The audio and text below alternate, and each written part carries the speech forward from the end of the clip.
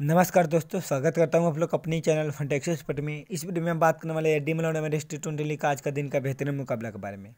जो खेले जाने वाला है शारजा वर्सेज अबू धाबी आपको बता दूँ, जो एसएनसी की टीम है गाइज़ इन्होंने चार मैचेज खेला है। और दो जीता है, दो हारा है। जो एबीडी की टीम है गाइज़ यानी अबू धाबी की टीम है, चार में से चारों हारा है। तो जो भी आपको फेवर करनी है, आपको एस टीम को ही फेवर करनी है, क्योंकि मुझे लगता है कि यही टीम विन करेगी।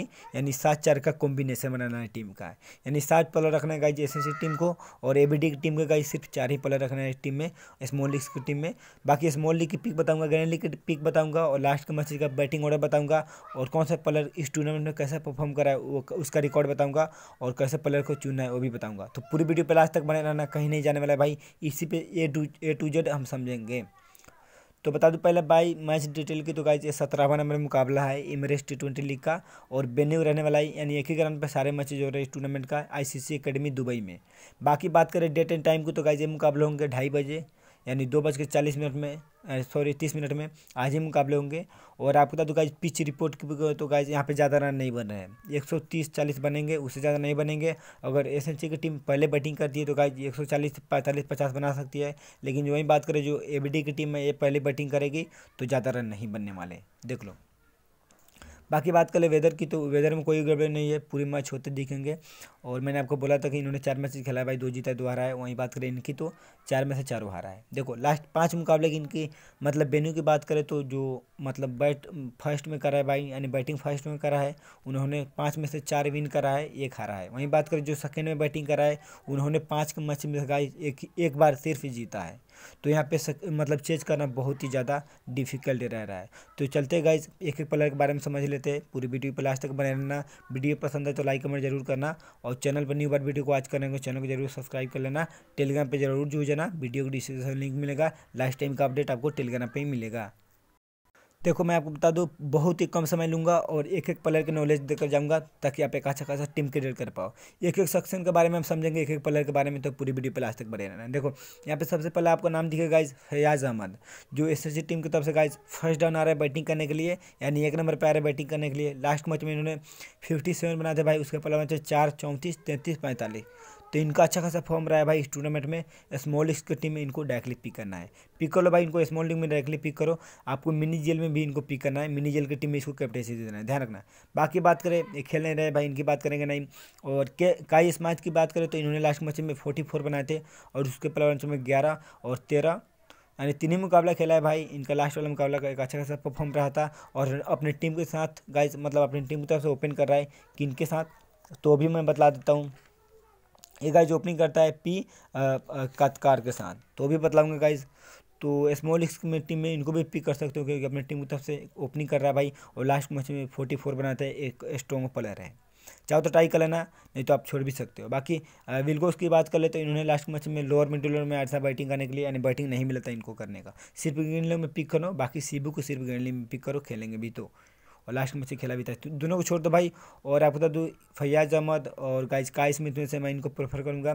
बाकी गाइज़ जो वनडा बनाएँगे ये ओपनिंग करेंगे। तो स्मॉल लीग की टीम में आप इसे ले जाओ। बाकी मिनी जेल के स्मॉल लीग की टीम में भी इनको भी ट्राई कर सकते हो। क्योंकि दोनों टीमों मतलब अच्छा खासा मतलब प्लेयर भी है और ऊपर बैटिंग करने के भी तैयार है। अब हम बात करें बैट्समैन सेक्शन की तो देखो, रंजीत मनी। यहाँ पे इनको डायरेक्टली पिक कर लेना स्मॉल इसको टीम में अपनी टीम के साथ ओपन करेगा भाई।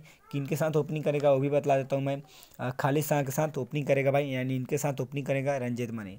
और लास्ट मैच में इन्होंने संता सॉरी इन्होंने बाईस बनाया था भाई मनी ने, और लास्ट मैच में सत और सैंतीस, इकतीस, उन्नीस। तो लास्ट मैच में इन्होंने बाईस बनाए थे। इनका जब भी फॉर्म रहा है भाई, तीस से बीस बना कर दे सकता है आपको। एक अच्छा खासा प्लेयर है तो स्मॉल टीम में अगले पिक करो ओपनिंग करेगा खालिद शाह के साथ। बाकी खालिद शाह की बात करें तो लास्ट मैच में जल्दी आउट हो गए थे। लेकिन इन्होंने एक अच्छा खासा परफॉर्म कराया भाई, तीस, सत्ताईस, तीस, इकतीस। तो स्मॉल स्कूल टीम इन दोनों को पिक करो ऊपर के। बाकी सुनील हरियाणा की बात कर ले तो इन्होंने लास्ट मैच में बाईस बनाए थे भाई। थर्ड डाउन आ रहे बैटिंग करने के लिए, लेकिन कुछ खास ऑप्शन है नहीं। सिर्फ़ ग्रैंड लीग में पिक करना है, सिर्फ़ ग्रैंड लीग और मिनी जेल में।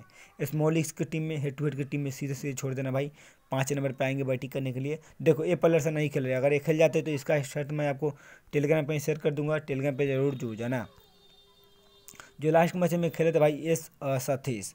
यानी इनका नाम है गाइज़ आपको दे दो। सूर्य सतीश। और लास्ट मैच में फ़र्स्ट डाउन आया था बैटिंग करने के लिए। और थर्टी फाइव रन बनाया था भाई, बहुत ही शानदार इनिंग खेला था। और उसके प्लांच में गाइज़ चौदह पाँच चौबीस। तो देखो इनका सिलेक्शन भी अच्छा खासा है तो स्मॉल की टीम में इधर से इसको पिक कर लो भाई फ़र्स्ट रन आ रहा है बैटिंग करने के लिए और दोनों अपनी टीम की तरफ़ से ओपनिंग कर रहा है। तीन तीनों डायरेक्टली पिक कर लेना जो मैंने आपको बताया। बाकी बात करें ऑलराउंडर सेक्शन की तो गाइज़ यहाँ पे बहुत ही ज़्यादा प्लेयर है गाइज़ ऑलराउंडर सेक्शन में, जो आपका जो जो सुधाकर है लास्ट मैच में गाइज़ बॉलिंग कर रहा था विकेट नहीं मिल रहा था मतलब मिला था। और उसके पहला पहले मुकाबले में विकेट नहीं मिला। यानी गाइज़ आपका लास्ट के थ्री मुकाबले में विकेट नहीं मिल रहा, लेकिन एक अच्छा खासा पारी खेल रहा है भाई। लास्ट मैच में सेकेंड रन बनाया था बैटिंग करने के लिए लास्ट मैच में तीन रन बनाए थे विकेट नहीं मिला था।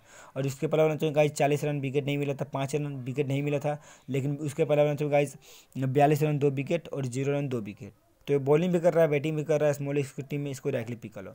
बाकी दाऊद की बात कर ले तो इन्होंने लास्ट मैच में सेकेंड रन आया था भाई अपनी टीम की तरफ़ से और बैटिंग करने के ऊपर भी आ सकता है। और आया भी था सेकंड डाउन यानी दो नंबर पे। लास्ट मैच में चार रन भी बनाया था, दो विकेट भी निकाला था भाई। और उसके पहला मैच में गाइज़ एक विकेट दो विकेट तेरह रन दो विकेट आठ रन और एक विकेट बाईस रन तो स्मॉल की टीम में गाइज़ दाऊद को डायरेक्टली पिक कर लेना तो इधर से ऊपर के दोनों को डायरेक्टली पिक कर लो। यानी गाइज़ इन दोनों को डायरेक्टली पिक कर लेना। बाकी उमर अली की बात करें तो लास्ट मैच में इन्होंने इक्कीस बनाया था भाई, एक विकेट निकाला था। और उसके पहला मैच में हालाँकि ज़ीरो पे आउट हो गए थे, लेकिन उसके पहला मैच तेईस रन प्लस ज़ीरो विकेट बीस रन, एक विकेट और पाँच रन, एक विकेट देखो बॉलिंग बैटिंग दोनों करेंगे और अपनी टीम की तरफ़ से थोड़ा मिडिल ऑर्डर में आते हैं बैटिंग करने के लिए, लेकिन पूरे पूरे तीन से चार ओवर करके देंगे तो ऊपर के इन तीनों को डायरेक्टली पी कर लेना है स्मॉल की टीम में हेड टू हेड की टीम में। बाकी बसीर की बात करें तो इन्होंने लास्ट मैच में भाई ये बहुत ही अच्छा खासा परफॉर्म कर रहा है भाई। लेकिन लास्ट के मैच में विकेट नहीं मिला था। सात रन बनाए थे। लेकिन उसके पहले जो गाइज़ उनतीस एक विकेट पंद्रह प्लस एक विकेट चौबीस रन प्लस ज़ीरो विकेट इक्कीस प्लस दो विकेट तो हर एक मैच में जब भी लेता है, दो विकेट लेता है तो ऊपर के इन चारों को पिक करना है स्मॉल इसकी टीम में हेड टू हेड की टीम में। ध्यान रखना, इन चारों को भाई डायरेक्टली पिक कर लो। वहीं बात करें, जैसे गाइज़ हम इसकी गाइज़ परेश सॉरी पासिंदू की तो गाइज़ इन्होंने लास्ट मैच में लोअर मिडिल ऑर्डर में आया था गाइज़ बॉलिंग नहीं कर रहे थे। इसको सीधे सीधे छोड़ देना है। स्मॉल की मिनी जेल की टीम में सीधे सीधे छोड़ दो, सिर्फ़ बैटिंग करेगा। बाकी कतकार की बात कर ले तो गाइज़ ये बहुत ही अच्छा खासा प्लेयर है भाई। देखो लास्ट मैच में गाइज़ इन्होंने ओपन करा था भाई, और एक विकेट भी निकाला था। बॉलिंग भी करा था ओपन भी करा था। और ग्रैंड लीग की डिफरेंशियल पिक रहेगा, स्मॉल लीग की डिफरेंशियल पिक रहेगा, यानी ऊपर की इन चारों में से किसी को छोड़ देते हो तो गाइज़ एक, कोई फ्लॉप हो जाता है तो गाइज़ कतकर एक अच्छा खासा प्लेयर हो सकता है। लास्ट मैच में ओपन करा था भाई और बॉलिंग भी करा था, एक विकेट भी निकाला। तो स्मॉल की टीम इनको डायरेक्टली पिक करना है। स्मॉल लीग की टीम के लिए बहुत ही अच्छा खासा प्लेयर है भाई और मिनी जेल के ग्रैंड लीग की टीम में इसको कैप्टेंसी देना है, ध्यान रखना। तो इनको रख सकते ओपनिंग भी करा था भाई। वहीं बात करें सैयद की तो गाइज़ इन्होंने लास्ट मैच में फोर डाउन आए थे, आठ बनाए थे, कुछ खास ऑप्शन है नहीं बॉलिंग नहीं कर रहे। तो ऊपर के गाइज़ चार और नीचे के एक प्लेयर हो गए, इसको लेकर चले जाना भाई पाँच। तो ऑलराउंडर सेक्शन में चार ही प्लेयर को पिक कर सकते हो तो उनमें से किसी छोड़ के इसको रख सकते हो। बाकी बात में बतलाऊँगा कि किसको छोड़ना है। बाकी अल्ताफ़ की बात कर ले तो इनको लास्ट मुकाबले में एक विकेट मिला था भाई दो विकेट, एक विकेट तो अच्छा खासा प्लेयर है भाई। इनको पिक कर सकते हो पूरे पूरे चार बार करेंगे। बाकी हलान हरीश है तो लास्ट मैच में विकेट नहीं मिला था भाई। और आपको बता दो एक भी विकेट नहीं निकाला है भाई।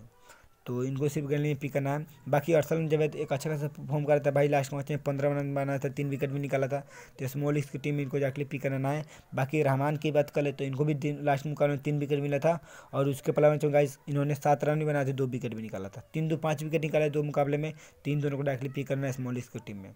बाकी नागेंद्रन की बात कर ले तो इन्होंने लास्ट मुकाबले में विकेट नहीं मिला था भाई। यानी एक, तीन मुकाबले में दो ही विकेट निकाला है तो सिर्फ़ इनको गैंडली में पिक करना है जब भी लेता है, दो विकेट लेता है। नायडू की बात करें तो इन्होंने लास्ट मुकाबले में गाइज़ तीन विकेट निकाला था। और उसका पहला जो गाइज़ एक विकेट तो स्मॉल की टीम इनको भी पिक करना है भाई। और हुसैन की बात कर ले तो इन्होंने लास्ट मैच में दो विकेट निकाला था और उसके पहला जो गाइज़ एक विकेट लास्ट के दो मुकाबले में तीन विकेट निकाला है। तो इधर से दो हो गए गाइज़ और आप बता दूँ, और इधर से जावेद और रहमान हो गए। बाकी अल्ताफ़ को भी आप पिक कर सकते हो।